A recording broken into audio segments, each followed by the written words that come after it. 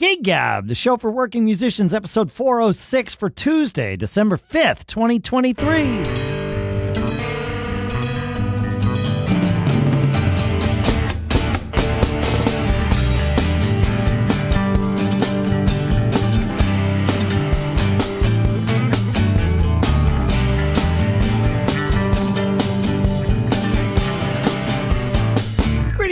Folks, and welcome to Gig Gab, the show by, for, and about working musicians. Here, as usual, in Durham, New Hampshire, I'm Dave Hamilton. Here, as is occasional in Nipomo, California, it's Paul Kent. How how is the occasional visit to your home in Nipomo there, Paul? It's been a very relaxing little stretch here. We're we're really, you know, in two homes these days. Uh, not quite 50-50, but it's funny the, the some of the things that were made me restless down in this new area because you know I've told you I've lived in New York and and Silicon Valley. Right. And when we when we moved down here, I I thought I would adapt to the quiet a lot easier and it's harder for me. My wife, uh, you know, bless her, has been has been she loves it. I mean, it's and the house. You know, we're so happy in the house. Sure. It's very serene. But like, but like, what do you want to do tonight? Oh, let's go to the music. Let's go get something to eat. And like, oh, yeah, that's gonna take a while. So, but a little bit of schlep. huh. Yeah, interesting. Interesting. And and and as people might hear occasional blips, sometimes the internet way far out in the burbs uh, is a little blippy too. So, um, I don't know what's going on. yeah, it hasn't been an issue for a long time. It's it it wants to mess with us, Paul. That's how it works. That's how it works. That's how it works. Um, Christmas is canceled, Paul. I got to tell you, that's it. Christmas is canceled. You're calling it off? Well, it's not me. I'm just informing you of something I've been told, and uh, it, it's not so much I've been told as that I've intuited it from the fact that uh, I mentioned a couple of weeks ago that you, you maybe this is your fault. You said, you know, I'm not hearing of anybody having any Christmas gigs. I don't know if people aren't doing that this year or what. And I, you know, butted in and said, I have two.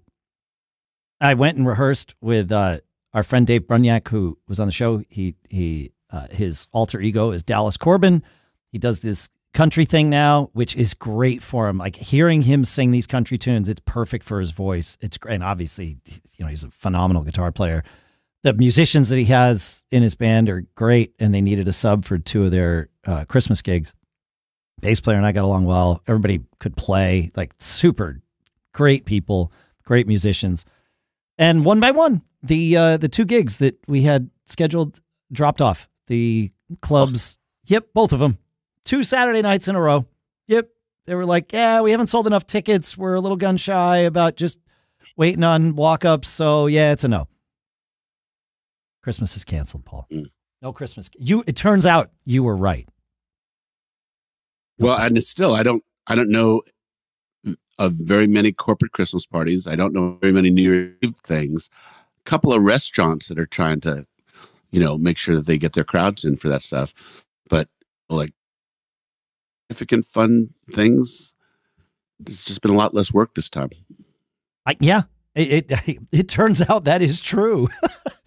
um, Yeah.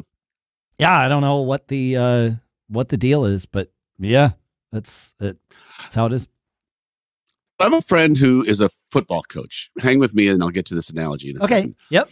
and and he um, is keenly aware about how things have changed for high school football or, or youth football as as concussions have become more of a concern or more awareness about concussions. For sure. And I asked him, "Do you think there'll be youth level footballers?" He said, "Yeah, I do, but it's going to keep changing. I mean, even now, the kids can't wear pads to like the last two weeks, and they don't learn tackling at such an early age, at least out in California. And you know, he's just, you know, like this is where things are going. Is it time to have the conversation?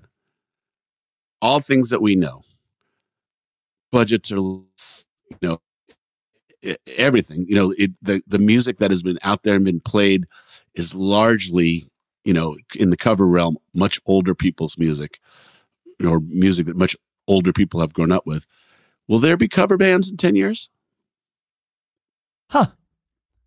That I I think. Well, so there's there's two ways it could go.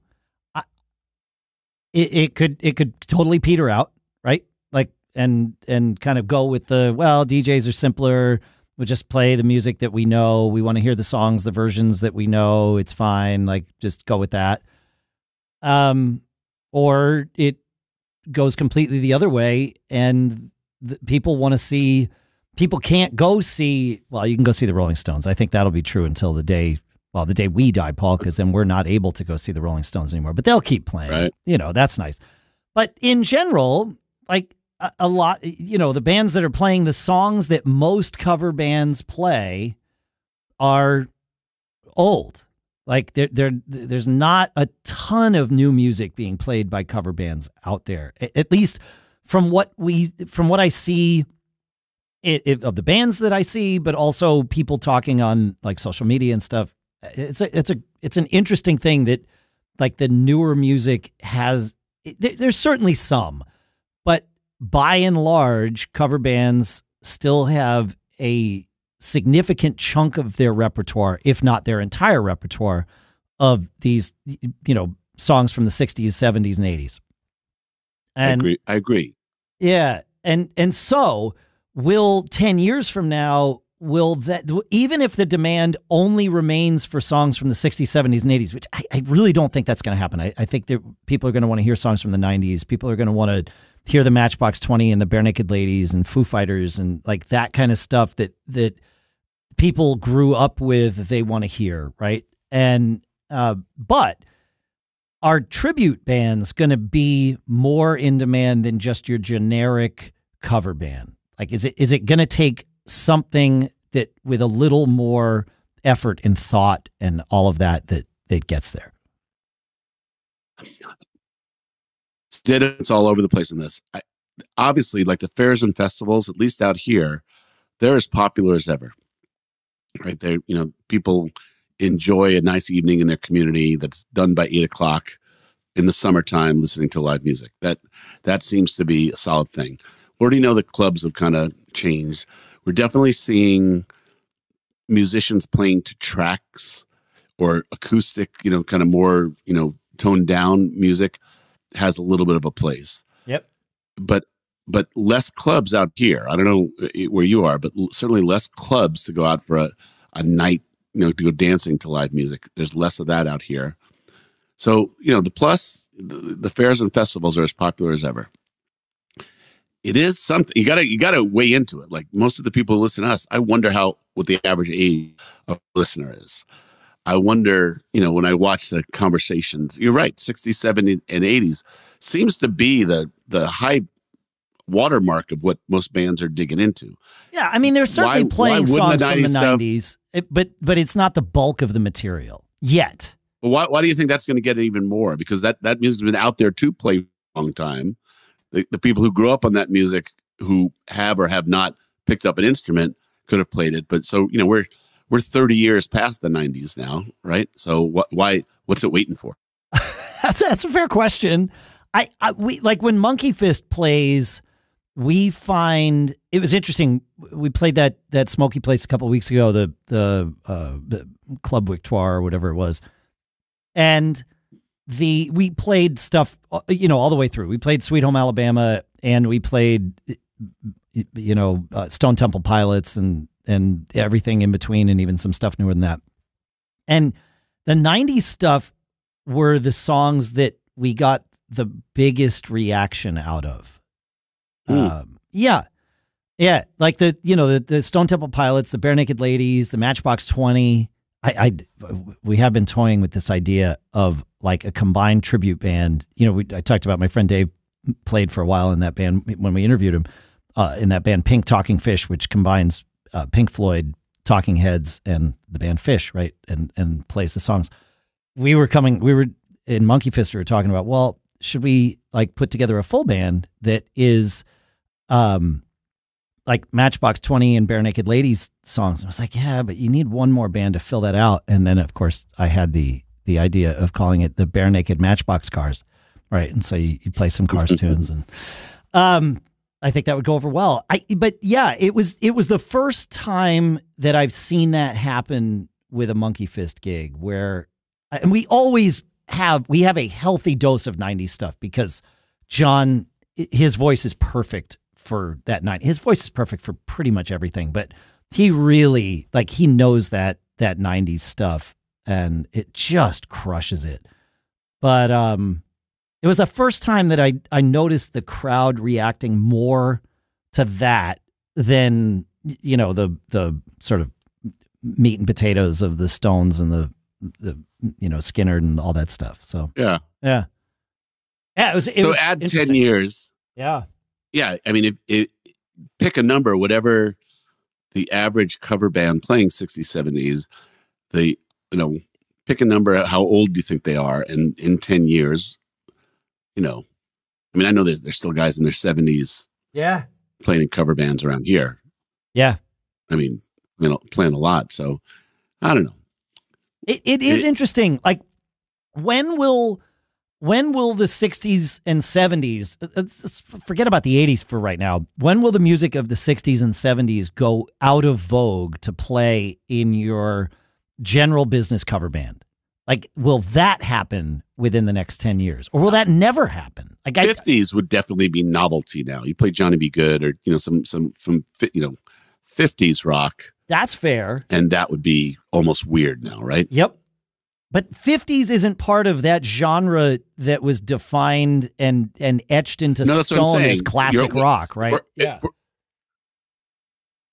I'm agreeing, but if you're saying it's still 60s, 70s, and 80s, at one point it was 50s, 60s, and 70s, or you know, 50, right? At Fair. one point, playing playing those Chuck Berry songs would have been a part of a GB.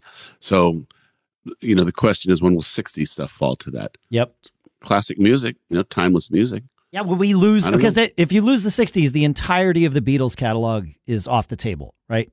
And, and I'm not saying there needs to be some hard line drawn in the sand, but at what point do people do, do, do Beatles songs just fall off?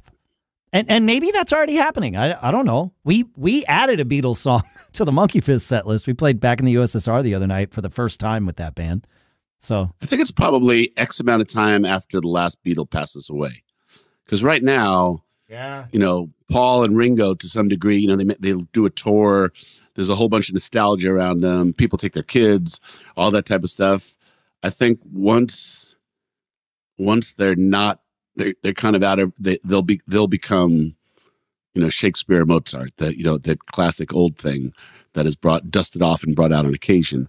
But I don't know if it'll be essential I don't know. I'm talking on both sides. Of my, no, I, it, well, this know. is this is, but this is an interesting conversation to have because, I, like, obviously, neither one of us like spent a lot of time prepping for this. You just sort of threw it out there, which which is want to happen with us here. We ha- we'll have an agenda, and then somebody, one of us, will have a wild wild hair, and off it goes. Um, but it is interesting to sort of just dissect this, and even jumping sides. You, you know what I mean? Like, it, there's an interesting. I don't because we can't know the answer, obviously. Yeah. It's a good question. What what will what will cover bands be in 10 years? Can it sustain exactly what it is right now? Not much not much sustains, you know, for that long. Music changes, venues change. Yeah. But there is demand. Like I said, the rise of these local concert series and, you know, fairs is definitely a thing out here. Would you say it's the same where you are? Like like like Not, and also, you know, like go ahead. No, I was going to to answer your question not like it is out on the West Coast. No, it, we okay. don't have that. No, the, the the I mean, there are some, you know, concerts on the green and in, in town squares and stuff, but they're they're not. It, when I came out and saw what you guys had, and that was like normal, it's like okay, this is times ten compared to what happens here on the East Coast. So yeah, no, yeah, yeah. Oh, interesting. Yeah. Yeah, it's yeah. interesting to think. I mean, you do it until you can't do it anymore. But I mean, all the strategies against, you know, this is what's going to be the next thing. I thought the tribute band thing would have died out a long time ago. I'm surprised that it it had so much legs to it. I think it has more. Um, it, it, and you might be right. Like that might be the next thing is that it you you have to be an act with a with a theme in in in order to. But but again, here's the other thing. Anything that you do I a lot of the people who go to those outdoor concert series are people, you know, retired people, people, little young families that just want a nice night out you know, low cost, just go relax in, in a park somewhere. Yeah. Why would that ever change? Right? That should never change. Yeah, that doesn't happen here. So it's like Is I- it I- because is it because it's is it because of bugs? Is it just because the humidity in the in the Northeast? You don't just sit outside for long periods of time at- night. that I think that's part of it. I think our season to do it is also shorter than yours. And Yeah. and there's enough rain in the summer here Risky. that it you well yes it's risky but you also just know that a certain number of things are going to get rained out this past summer was uh, was a, a phenomenal amount of rain uh, compared to previous compared to normal but even still it's like it would be it would be completely rare for me to make it through a summer without a gig getting rained out. Now this summer it was you know rare to make it through with a gig that actually happened but you know that's that was this summer. But yeah it, i think that's part of it and i think you're right about the bugs. Yeah it it can be rough um Yeah. in the evenings here. You know that that perfect twilight time where you'd want to be out watching a band play where it's still a little bit sunlight or whatever that that's the worst time to be outside yeah, Yeah, yeah. yeah. I saw a post on one of the. I think it might have been uh, Cover Band Central, and someone said, "What is the deal with with tribute bands? I'm amazed that this thing happens." And one of the one of the responses was, "Well, there's a pretty big continuum. They're the ones who are like all in, yeah sound like them, use the use the equipment like them, dress like them, and those are the people who just play the songs." That that's not really a tribute if you just play the songs, which you know that's up for debate. I sure suppose. sure But uh, you you wonder if that's what the continuum will be like. In order to be, if if if there are hundred bands in your area right now, there's probably sixty percent of them are generic cover bands, and forty percent of them are tributes. Maybe maybe maybe a little 70-30. Yeah, Does but that the right but the, the business I, I I think that does sound right. Um but the the tribute bands are the ones that are playing at a completely different level, right? I mean, we interviewed interviewed Awesome. Bruce Hilton from that Tom Petty from Being Petty, right? Yeah, and yeah. uh, you know, they were I don't want to say they were just starting out when when he was on the show, which was earlier this year, I think. Maybe it was last year, but it was recently. But they were it was early in in their career. Like they were playing their first big gig, you know, 2 weeks after he was on the show. And now they've got agency representation. They're rocking out there. They're playing, you know, all the sort of t- top tier tribute band stages around the area, 500 to 1,000 seat venue kind of thing. And that's that's what they're doing. And I I'm, I don't I mean I haven't seen their books, but I, like when you look at the number of people, they're obviously making more money than than your traditional you know bar band. And Yeah. they put the work in. They dress to a degree. They dress like the band. They play a lot of the same gear as as you know the Heartbreakers did, and like you know they they own a, a, enough of it to put on that show, right? And and there's uh, like there's other bands around here. I I told you I saw that Eagle Mania band with Constantine. Prior to that, he was playing in Foreigner's Journey. There's another Eagles band called Dark Desert Eagles, and the lead singer of that um, is Pat Badger. He plays guitar in that band, but he plays bass in Extreme, right? You know, but he does Oh. this right. Yeah, exactly. And then there's um, Lotus Land, the Rush band that I've mentioned around here, and then there's all the Beatlemania bands that you know tour around the country and play in their various pockets, and and and that's just we're just scratching the surface. There's Van Halen tributes that we've talked. I mean, there's tributes for lots of things, and it seems like it's growing. And I think as especially as the people who are in the bands that are being paid tribute to, as those people pass away, the demand for that tribute band increases, at least for a short period of time. Maybe. Yeah. I mean, if we got Beatlemania bands still playing, that's not a short period of time, man. like the Beatles haven't played in a long time. So uh, it's interesting. And and then there's bands like Lynyrd Skynyrd and the Rolling Stones who are still out there touring with I mean, with the Rolling Stones, at least there's Foreigner. and Foreigner. Are there any original members in Foreigner? I don't think so, right? No, none. Right. So that's like I know it's called Foreigner because legally they retained the rights to do that, and that's fine. Like I'm I'm not begrudging them that, but but like what's the other than the legal rights to the name foreigner?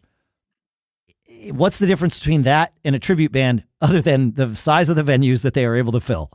I, like, there's no difference. I, Uh. I don't know.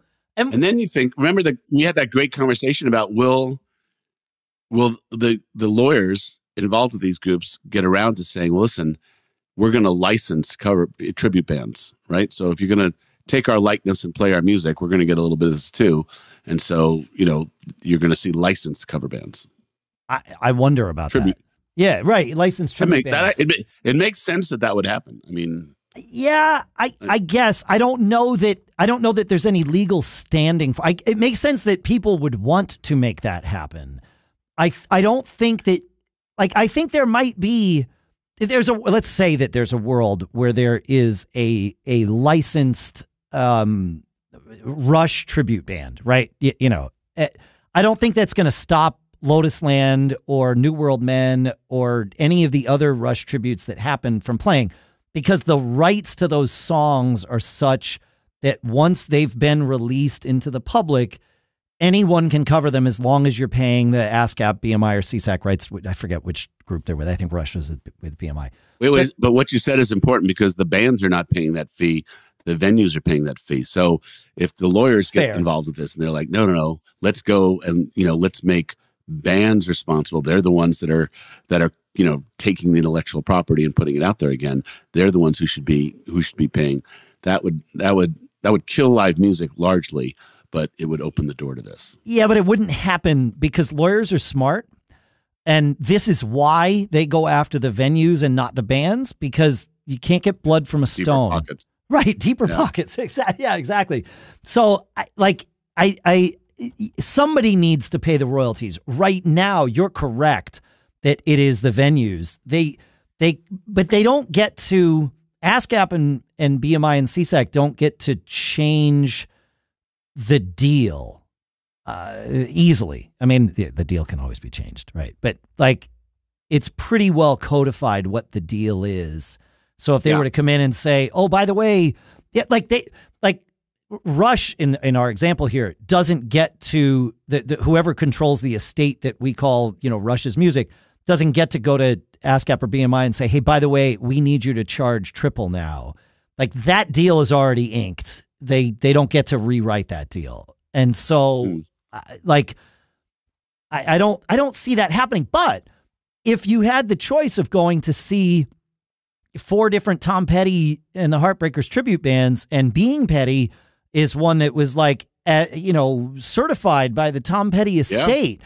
That would add value to them and might get them the ability to play in larger venues. So I can see it working in the other direction as opposed to being punitive about it, being, you know, eh, eh, being additive to it. Like, oh, this is the one authorized tribute band. And, you know, I don't know what that criteria would be. I assume it'd be different for every every estate. And of course, then there's the whole thing of, well, who owns the rights to the songs? A lot of times it's just an investment firm. Like Springsteen sold off Right. most of it, right? You know, so d- so does the like if somebody you know put out a Springsteen tribute band that was like authorized by the you know the people who own Springsteen songs? It's like, well, it's just some corporate entity. Like, who, does that really But mean the, the corporate entity would be more likely to want to squeeze the money out of it as opposed to the artists Mhm. who originally owned it. That would be like, you know, Whatever. It's cool. My music is getting out there. Yeah, right? exactly. So I don't know. They- the- the- I think the, the point is more if you think about it as a financial problem, the change that will happen over the next 10 years is much different than if you think about it as an, a supply and demand or an art problem. Yep. Right. Yep. So if you're literally just thinking about as these classic rock acts start dying off, how how are people going to maximize, you know, the long tail of their investments in their catalog? Yeah. So Yeah, that's true. things will change. I think I think absolutely things will change. Yeah, that's interesting. I mean, the fact that the songs are now owned by corporate entities and that will that will ch- increase, right? The the the the number of estates that wind up selling these song catalogs out. I mean, Yeah. right now we're talking about the artists themselves doing it, but certainly the families of the artists who have passed would potentially be far more likely in some cases to sell the catalog off to realize those gains and and you know spend them on other things or whatever that might be. Um, so that like once that happens and it's all corporate owned, you're right. The whole reason that they buy it is to squeeze, and so uh, and there there has to be a long term plan that someone who buys a 73 year old guy's yeah catalog is probably thinking about how am I going to be making my money back over 20 years, 30 years, 50 years and beyond. Well, but at some and point so those be... those rights expire. Oh, I don't know anything about that. You can, yeah, you can renew them. Oh, ah, crap! I w- now I wish I had done the research because I, I I looked at this recently enough to know that there's a specific thing, and not recently enough to remember what it is. But it there is a certain number of years. I want to say it's 30 years when you initially, you know, register your song for copyright. Let's say it's 30.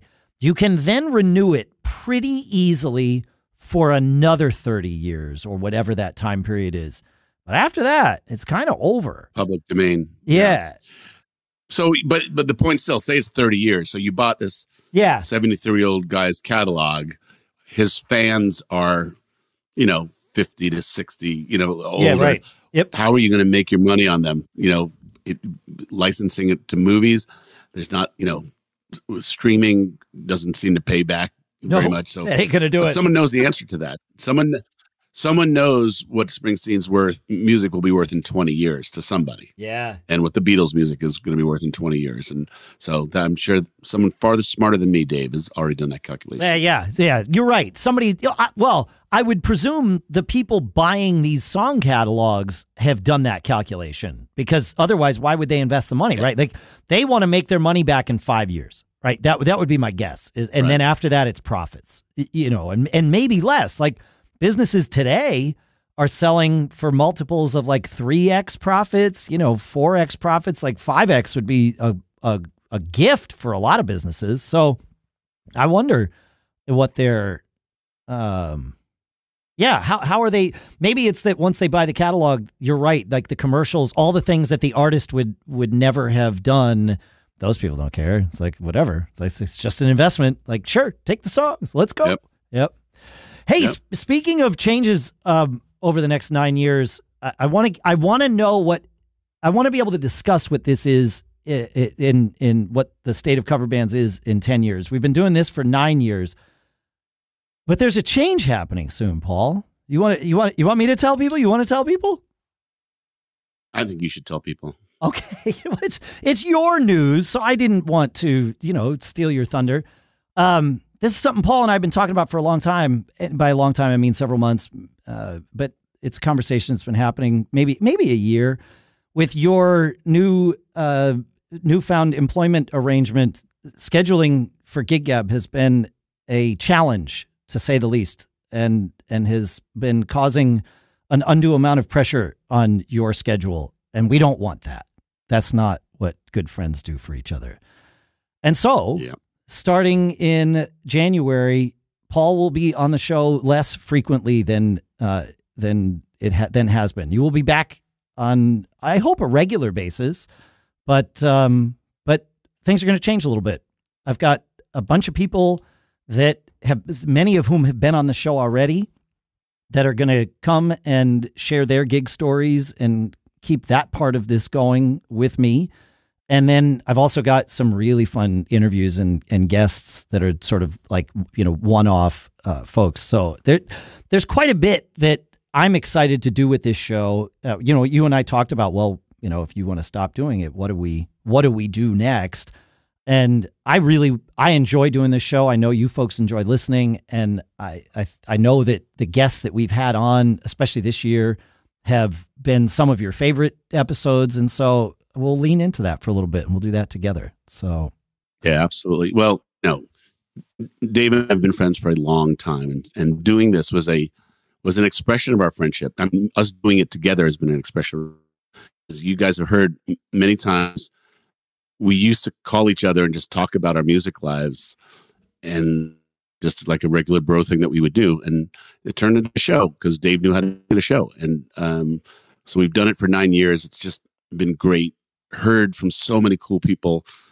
It's been weekly therapy in many ways, you know, Oh, to yeah. just kind of talk about our lives.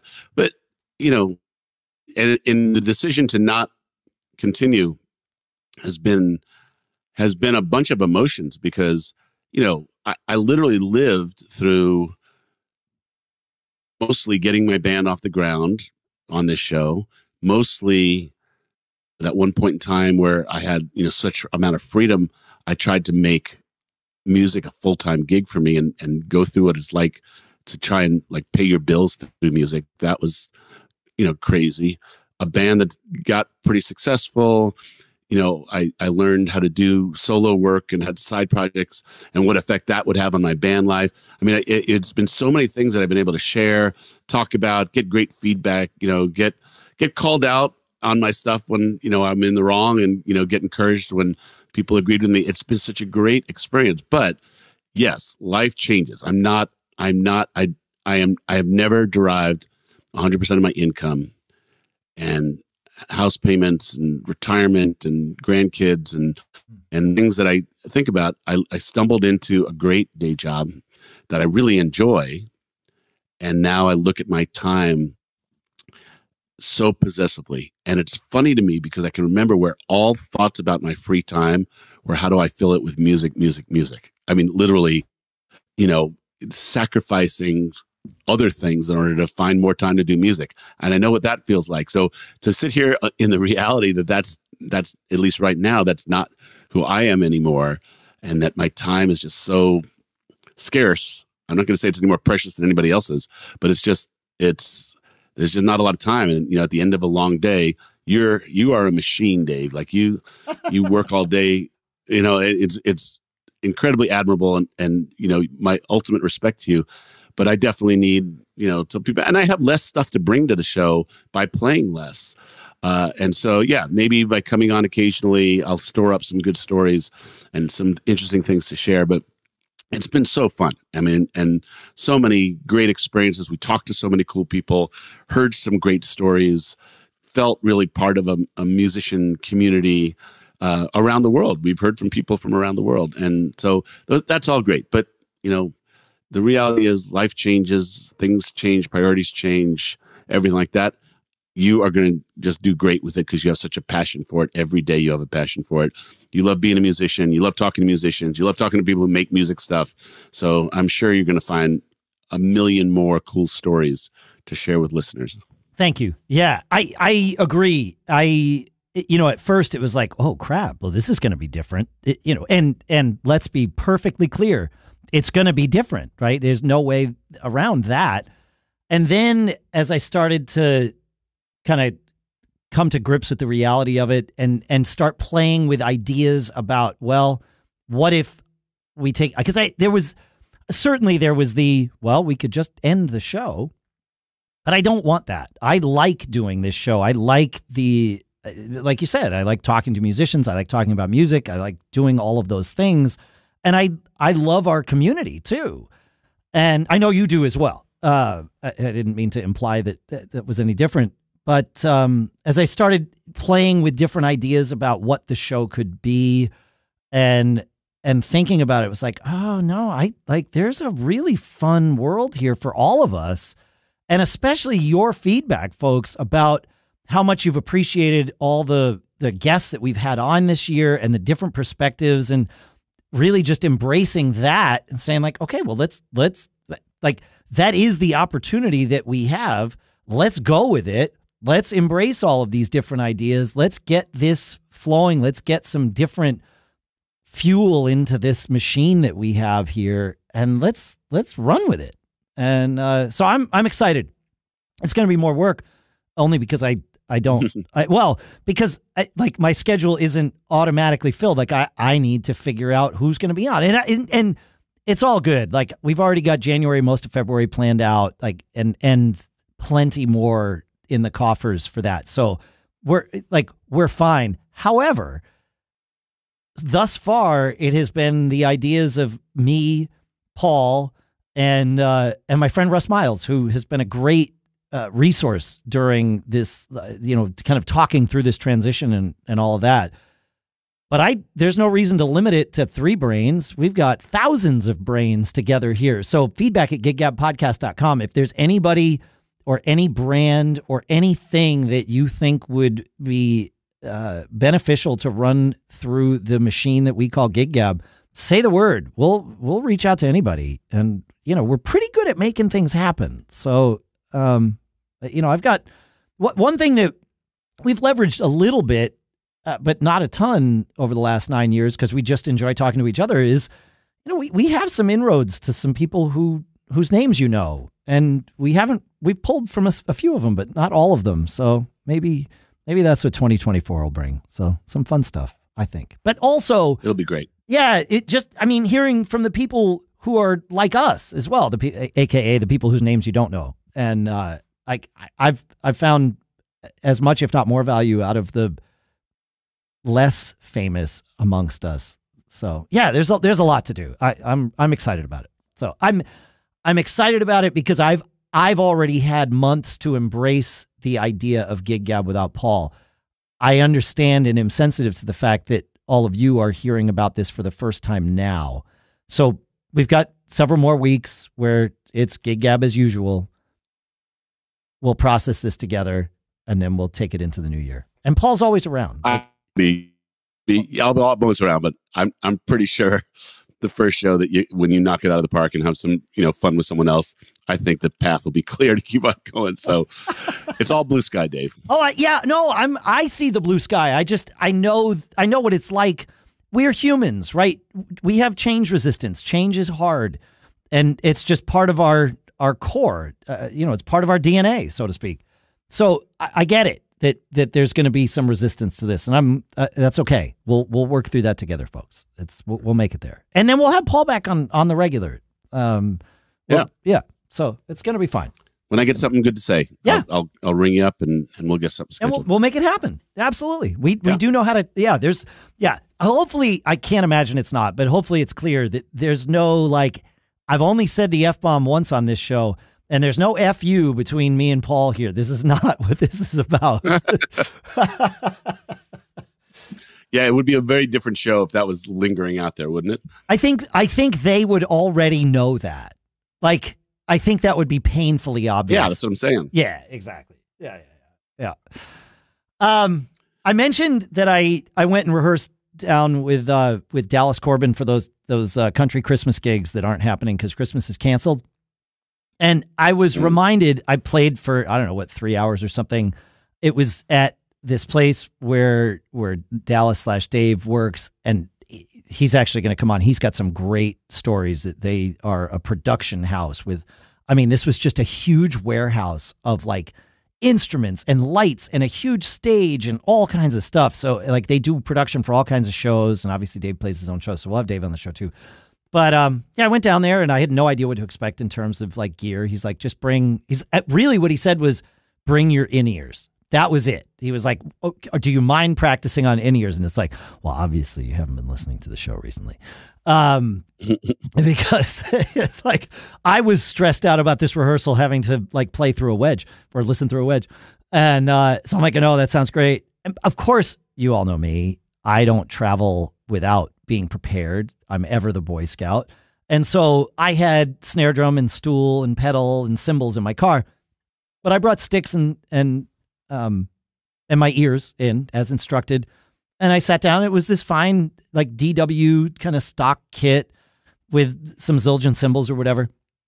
And uh and well, I I the, the first thing I thought was this is I, I love playing I love the opportunity of playing on a different kit because you get I find inspiration from the drums and cymbals being in different spots. Like I can't pl- close my eyes and play right out of the gate like I can on my kit because my hands don't know where everything is. But because of that, you know, there's a little more lag time or a little less lag time getting to that crash cymbal, a little more lag time getting to the ride or the floor tom or whatever it is. And I just love that idea. And I think the only people who would be nodding their heads along with me on this are drummers because Mm. uh, because as a guitar player you like the idea of having an instrument where the action is different is probably the your least favorite thing I, I would think Like, But that's just the action. I mean, there's other things. There's, you know, all guitars sound different. Mm, So just your specific comment about the time to get from one place to another might be different and therefore Sure, you find sure. creativity.